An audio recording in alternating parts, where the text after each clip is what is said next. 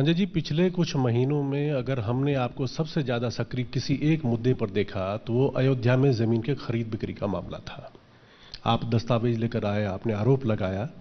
सच क्या है, झूठ क्या है, वो तो जाँच से पता चलेगा। मेरा सवाल आपसे ये है कि आप एक घोटाले को उजागर करना चाहते थे या राम नाम की पॉलिटिक्स कर रहे थे? बिल्कुल राम नाम की पॉलिटिक्स नहीं कर रहे थे, उस घोटाले को उजागर करना चाह रहे थे, और कैसे ये हुआ, ये भी मैं आपको बता दूँ। उस क्षेत्र के किसान कई पार्टियों के नेताओं से मिले। उन्होंने जाकर ये बताया कि हमारी जमीनें औने पौने दामों पर खरीद के और इसको महँगे दामों पर ट्रस्ट को बेचा जा रहा है। और इसमें उन्होंने बताया कि भारतीय जनता पार्टी का मेयर शामिल है। इसमें उन्होंने बताया कि ट्रस्ट के लोग शामिल हैं और इसके ये कागजात हैं। जब मैंने वो सारे कागज़ देखे तो मैंने कहा कि ये तो बहुत बड़ा घोटाला है, इसको मैं फिर से कंफर्म करूँगा।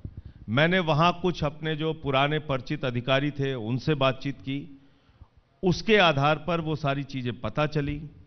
कुछ वहाँ पर जो तहसील में काम करने वाले लोग थे, उनसे पेपर को वेरीफाई कराया और तब प्रेस कॉन्फ्रेंस करके वो सारा कुछ सामने रखा कि शाम को सात बज के दस मिनट पे सुल्तान अंसारी और रवि मोहन तिवारी, जो मेयर का भतीजा था, बीजेपी के मेयर का, वो दो करोड़ में एक ज़मीन खरीदता है।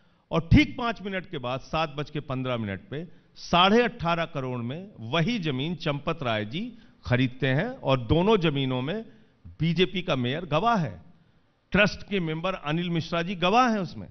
तो ये खुला एक मतलब इसमें ज़्यादा समय लगाने की ज़रूरत ही नहीं है। खुला भ्रष्टाचार है, जो हुआ है वहाँ पे। तो आप बताइए, ये भ्रष्टाचार उजागर करना चाहिए या नहीं करना चाहिए? मैं अजय मिश्रा टेनी वाले मामले में जा रहा था, बावन घंटे तक मुझे पुलिस वालों ने गिरफ़्तार करके रखा। बाद में मुझे छोड़ा गया।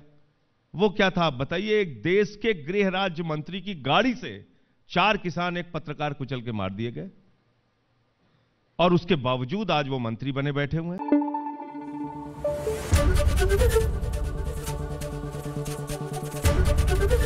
एबीपी न्यूज़, आपको रखे आगे।